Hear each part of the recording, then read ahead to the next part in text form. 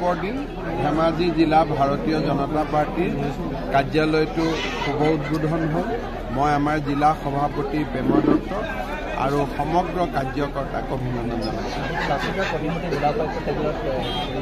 এটা খুব ভাল প্ৰচেষ্টা আৰু জিলা উপায়ুক্তৰ কাৰ্যালয়ত লাচিতৰ প্ৰতিমূৰ্তি হ'ল আৰু সেইটো সেই স্থানখিনি যিহেতু ধেমাজিৰ মাজমজিয়া সদায় নৱপ্ৰজন্মক প্ৰেৰণা দিয়ে।